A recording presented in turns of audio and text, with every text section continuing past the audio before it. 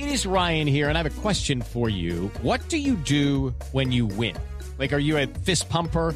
A woohooer, a hand clapper, a high fiver. I kind of like the high five, but if you want to hone in on those winning moves, check out Chumba Casino. At ChumbaCasino.com, choose from hundreds of social casino style games for your chance to redeem serious cash prizes. There are new game releases weekly, plus free daily bonuses. So don't wait. Start having the most fun ever at ChumbaCasino.com. No purchase necessary. VGW Group. Void were prohibited by law. See terms and conditions. 18 plus. Hey all, welcome back to the Real Life Pharmacology Podcast. I'm your host, pharmacist Eric Christianson. Thank you for listening today. Uh, the drug of the day is azelastine. Uh, but before I get into that, uh, I want to remind you to make sure to go check out reallifepharmacology.com. Uh, get your free 31 page PDF on the top 200 drugs. Great little study guide, refresher.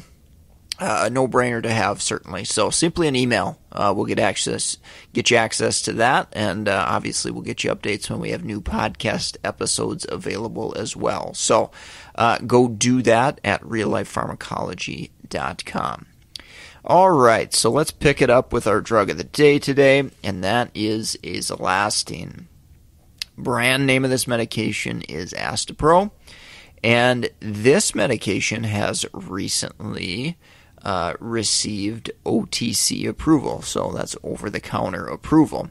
So you may see patients begin to take this medication on their own. So it's important that you know about it and make sure you can educate them about it if they have any questions. So mechanistically, uh, this drug's a nasal spray, and you know most nasal sprays are typically going to be used for localized symptoms. Uh, there are a few exceptions to that, obviously, like Narcan. Um, but anyway, mechanistically, azelastine is uh, an antihistamine. Uh, so again, it blocks H1 receptors and uh, ultimately reduces histamine release and histamine effects. So, histamine, uh, excessive histamine, is associated with allergy symptoms and of course allergic rhinitis, so runny nose associated with allergies, and that is going to be uh, the primary use that you're going to see uh, azelastine used. Now you may see it for non-allergic rhinitis as well, um, so that's a, a situation uh, in addition to allergies that you may see it used for. Um, it is typically going to be dosed one or two sprays in each nostril uh, up to twice a day. And there are a couple uh, different percent solutions. It's point, 0.1 and 0.15%. Uh, most common one I've seen in practice is 0.15%, uh, and that is what the um, over the counter, uh, approved over the counter dosage of Astepro is. Uh, with using a nasal spray, uh, the recommendations for azelastine. So when you start using that nasal spray, we do want to prime it or make sure we're actually getting a dose to come out. So uh, usually it, it, takes anywhere between two to six kind of pumps of the spray, attempting to spray it.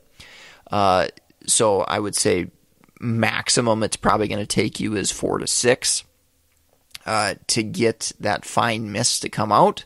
Once you see that fine mist come out of the tip of the nasal spray, uh, you're going to be good to go. That uh, nasal spray is uh, primed for azelastine there.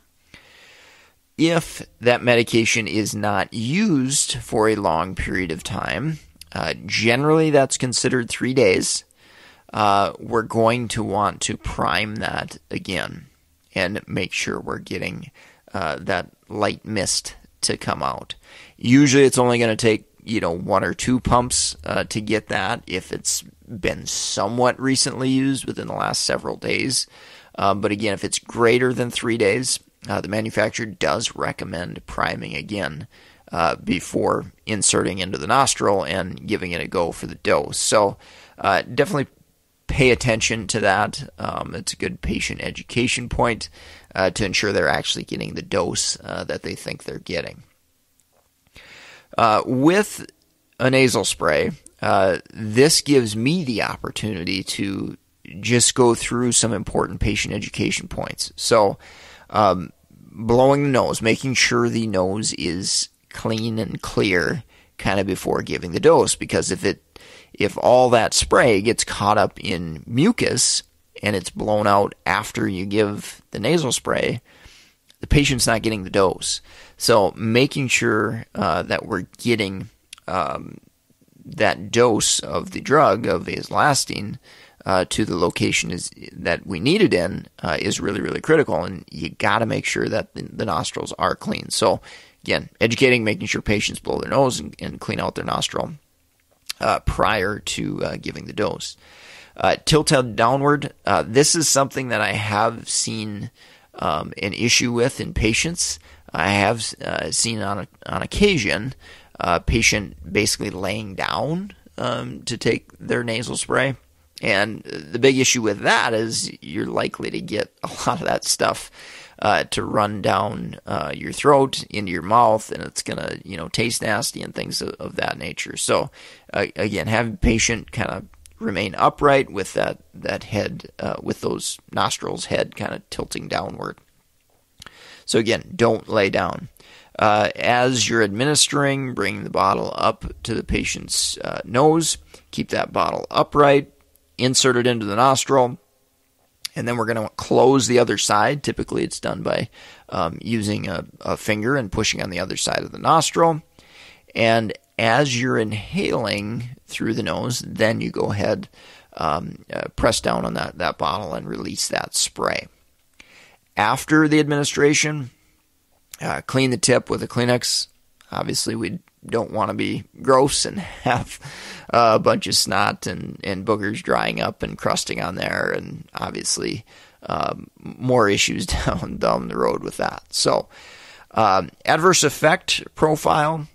Uh, probably the thing that you're going to hear patients complain about most is uh, kind of bad aftertaste. So if they get some of that dripping down into the mouth and they can taste it, uh, that is a common complaint usually not life threatening or anything like that, but definitely um, can be a, nuisance for patients.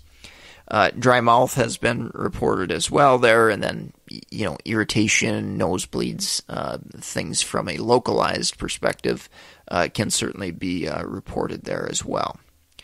Now, systemically, um, let's talk a little bit about this, and maybe I'll start with kinetics here first. So, uh, bioavailability is approximately forty percent. So does that mean we're going to have systemic effects? And I would say yes, it is possible uh, that you're going to have antihistamine uh, systemic effects. And with antihistamine use, we know they're used for sedation and sleep. That's probably the most likely thing you're going to see uh, is sedation if you do experience uh, systemic effects. Again, I don't think it's incredibly common. Uh, it's not something that I've you know routinely seen in practice or anything um, in somebody using azelastine nasal spray. Um, but I think it's important to know that the potential is there. From a metabolism standpoint, that 40% that is bioavailable and potentially absorbed into the systemic circulation, uh, it's actually broken down by a bunch of different enzymes uh, 1A2, 2C19, 2D6, 3A4. Uh, it's a substrate for those. Um, so, with that said, having multiple different pathways and low bioavailability in general, um, and smaller quantities being administered, you're probably not going to run into any CYP interactions or be concerned with that. So, uh, I think that's an important point to note, even though um, there is some metabolism in play with some of those CYP enzymes. So, not going to be clinically significant in uh, certainly the overwhelming majority of patients, and generally not something that I worry about.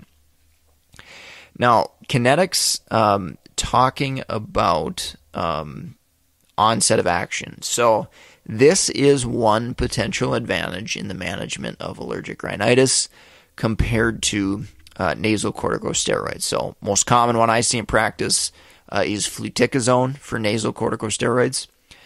So, antihistamines, uh, nasal antihistamines, generally tend to work a little bit quicker. So, onset has been reported uh, to be as quick as 15 minutes, whereas uh, nasal corticosteroids, it may take uh, days to actually start seeing a benefit from that nasal uh, corticosteroid. So, definitely an important point uh, to remember with that.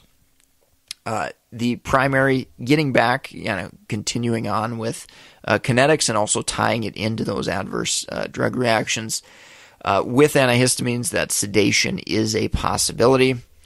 Again, with low lower bioavailability, 40%, um, not large quantities used, are you going to see sedation? Probably not incredibly likely that you're going to see it with the use of azelastine nasal spray. But again, something that uh, maybe is important to be aware of in the event that a patient is reporting uh, that type of issue. All right, let's take a quick break from our sponsor and we'll wrap up with drug interactions. If you're in the market for any pharmacist board certification study material like BCPS, NAPLEX, ambulatory care, medication therapy management, or the geriatric exam, go check out meded101.com slash store, S-T-O-R-E. Great list of resources there. Uh, if you're going through pharmacology classes, flipping pharmacology flashcards on Amazon are available now, um, available in the United States anyway. Um, great resource. Uh, lots of people are getting some benefit from those. Uh, good thing to have kind of all throughout your uh, career as a healthcare professional if you've got to take pharmacology classes. So uh, I've covered almost 600 drugs um, in the, the packet of those flashcards. Uh, so definitely go take advantage of that. It's a great way to support uh, this podcast. All right, let's wrap up with drug interactions. So I mentioned some of the CYP enzymes. I'm not really worried about them clinically. So we can kind of throw those out the window, um, in my opinion, in general, there. Uh, the drug interactions that you may likely be able to see, and it's probably not very likely, but um, if you're going to see some issues, it's probably due to additive effects. So, CNS sedation, obviously, there's tons of drugs that can add on to that potential effect opioids, benzodiazepines, so on and so forth. Um, so, azelastine potentially could contribute to that CNS depressant effect. Again, not real high on my priority list when I've got a patient with 20 medications. Uh, there's probably 5, 10, 15 medications ahead of azelastine nasal spray that I'm worried about causing sedation. Um, but I just wanted to uh, at least state that for completeness sake. And then dry mouth. I, I, did want to mention this one, you know, antihistamine type effects, maybe some anticholinergic activity. Uh, dry mouth could happen there.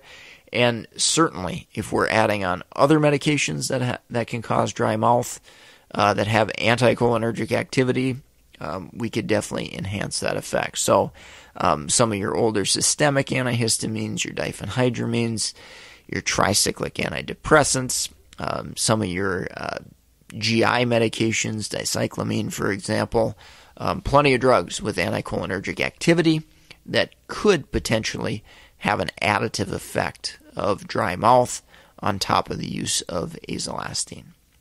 All right, well, I think that's going to wrap up the podcast for today. Do me a huge favor, leave a rating review on iTunes or wherever you're listening. Uh, support the sponsor, Flippin' Pharmacology Flashcards, or some of the board certification study materials, and I've got other books as well. All those links you can find, meded101.com slash store. And of course, you've got emails, uh, suggestions, comments, whatever. Uh, don't hesitate to shoot me an email, mededucation101 at gmail.com, or you can shoot me a message on LinkedIn, Eric Christianson, PharmD, BCPS, BCGP. With that said, thank you so much for listening. Hope you picked up a few practice pearls, and I hope you have a great rest of your day. With lucky landslots, you can get lucky just about anywhere. Dearly beloved, we are gathered here today to. Has anyone seen the bride and groom? Sorry, sorry, we're here. We were getting lucky in the limo and we lost track of time. No, Lucky Land Casino, with cash prizes that add up quicker than a guest registry. In that case, I pronounce you lucky. Play for free at LuckyLandSlots.com. Daily bonuses are waiting. No purchase necessary. Void where prohibited by law. 18 plus. Terms and conditions apply. See website for details.